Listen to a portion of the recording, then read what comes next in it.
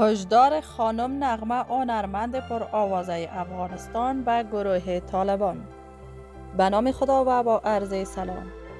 باز هم خوش آمدید به یکی دیگر از ویدیوهای کانال افغان نیوز. تقاضا می نماییم تا آخر این ویدیو با ما همراه بوده و این کانال را subscribe نمایید.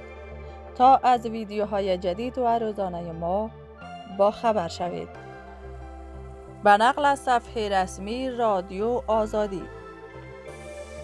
هشدار خانم نغمه هنرمند پر آوازه کشور به گروه طالبان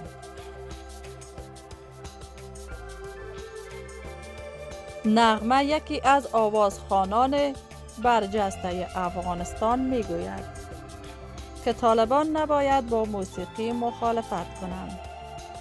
خانم نغمه روز چهارشنبه 24 سنبله از امریکا در گفتگو با رادیو آزادی در این مورد بیشتر گفت. اگر موسیقی در یک جامعه نباشد، جامعه به سوی بربادی می رود. همه مردم ما شاید مریض شوند. موسیقی مردم را شاد می کند. طالبان باید به مشکلات اقتصادی و سیاسی رسیدگی کنند.